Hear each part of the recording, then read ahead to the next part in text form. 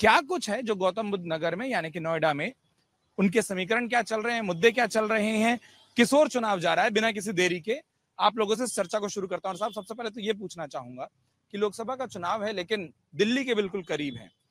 तो देश का जो सरकार बनाने की बात है, किन मुद्दों पर आपको लगता है इस बार का वोट हो रहा है कि इस बार का चुनाव आगे बढ़ रहा है?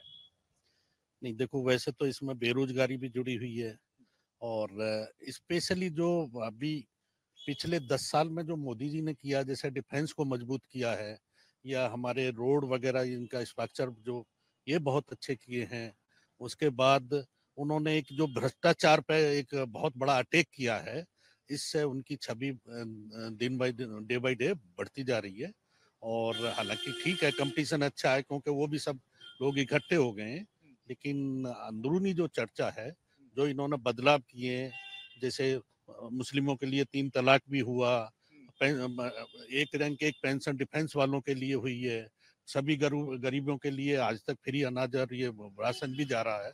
तो उससे जो है मोदी जी की छवि बहुत अच्छी बनी है और उत्तर प्रदेश में स्पेशली क्योंकि हम उत्तर प्रदेश में आते हैं योगी जी की जो छवि है वो बेहतरीन एक एडमिनिस्ट्रेटर की है जो उन्होंने प्रूव की है जो पूरे भारत में कोई ऐसा एडमिनिस्ट्रेटर नहीं दिखाई देता है उससे भी उनको बहुत गेन मिल रहा है।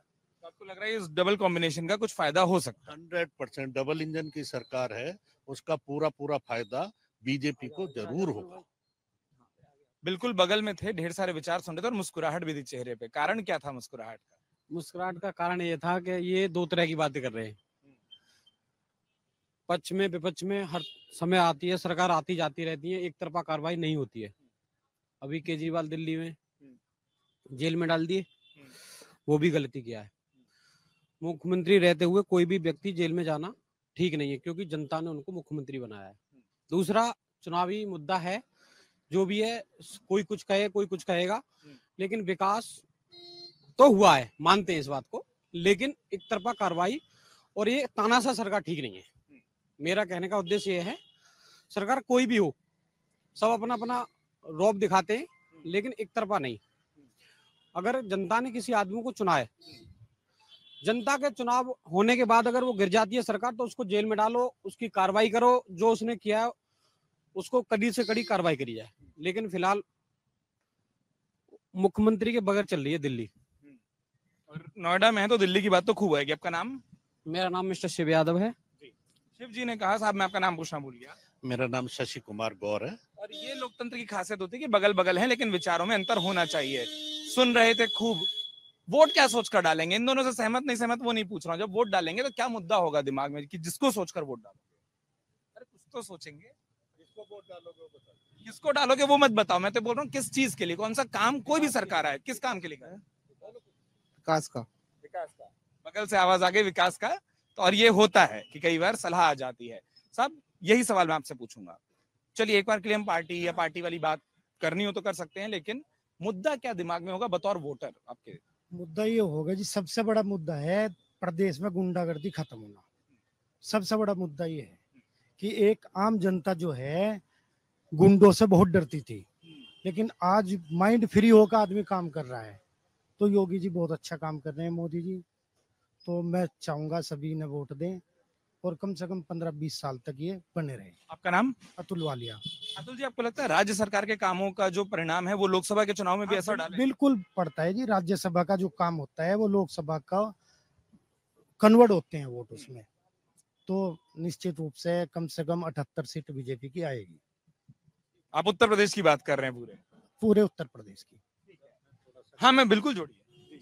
मैं अपने इस भाई से कहना चाहूँगा कि चाहे वो मुख्यमंत्री हो चाहे प्रधानमंत्री हो अगर वो भ्रष्टाचार करता तो उसका वेट नहीं करना चाहिए कि कब मुख्यमंत्री पद से उतरेगा और कब इसको अरेस्ट किया जाएगा। अगर उसने भ्रष्टाचार किया है कहते ना कोई चीज़ अगर कोई फोड़ा निकला है अगर वो पकने के बाद उसको करोगे तो उतना वो नहीं है उसको तुरंत काट दो वो ठीक हो जाएगा। तो अभी जो ये इनकी पकड़ा धकड़ी हुई है अगर ये सब सही थे तो दो साल से वो सत्येंद्र जैन क्यों पड़े हैं? उसके बाद संजय सिंह ने ऐलान किया कि मुझे कोई अरेस्ट करके दिखा दो। किसी ने कोई दुश्मनी थोड़ी है उसके पास सबूत है। और ऐसे तो अगर ये अपोजिशन में होते तो नीतीश कुमार आज तक क्यों नहीं अरेस्ट हुए? बाल ठाकरे को उनका उद्धव ठाकरे क्यों नहीं अरेस्ट हुए? अपोज ममता बनर्जी आज तक क्यों नहीं अरेस्ट हुई? जिसने जो किया है मोदी के जमाने में मतलब कहते हैं ना देर है अंधेर नहीं आ यहाँ तो तुरंत है। तुरंत है इसमें ये अभी दस साल में ही ये चीज़ तय हुई है। सुनो और देखिए एक तरफ़ तो ठीक है कि अगर मान लीजिए सरकार वाली बात जो आप कह रहे हैं कोई पक्ष विपक्ष है लेकिन दो साल से अदालत में जमानत की कोशिश हो रही है अदालत भी तो अगर जेल में रखी है और ये तर्क बार बार आता है कि अदालत ने जमानत क्यों नहीं दे दी अगर आप साफ़ हैं तो अदालत में तो कम से कम कागज़ आए होंगे। नीचे ऊपर सिस्टम तो सब एक ही है अदालत भी उन्हीं की है सुप्रीम कोर्ट भी उन्हीं के हैं अच्छा राहत मिल- राहत मिल जाती तो? राहत मिल जाती तो? राहत मिल जाती तो और कार्यकाल चलता उनका दूसरा नंबर ये है अगर रही बात उनकी के बिहार के मुख्यमंत्री नीतीश कुमार पे क्यों नहीं हुआ? नीतीश कुमार उन्हीं के पास आ गए। अगर नहीं आते तो वो भी चले जाते। नहीं फिर वो दो नाम और ले लिए ना जिन पर नहीं हुआ वो साथ भी नहीं आए। अरे वो साथ नहीं आए उन पे कुछ है तो है नहीं वो कोई मुख्यमंत्री थोड़ी हो तो ठाकरे। नहीं नहीं ममता बनर्जी की तो चली बात। ममता बनर्जी तो टक्कर दे रही। मम, ममता बनर्जी तो टक्कर दे रही है। उनके पीछे नहीं पड़ रहे वो। वो मज़बूत है अपनी जगह पे। हो सकता है भ्रष्टाचार नहीं कर रही हूँ। यही तो वो बात कह रहे हैं कि हो सकता है दूसरा कर रहा हो।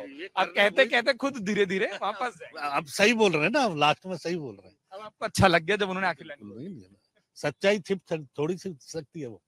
अच्छा ही आपको लग रहा है कि जबान से सच्चाई आ गई आपके हिसाब से अगर आप ये वीडियो YouTube पर देख रहे हैं तो हमारे चैनल को सब्सक्राइब करें और बेल आइकन को दबाना ना भूलें। अगर आप Facebook पर ये वीडियो देख रहे हैं तो हमारे पेज को लाइक करें।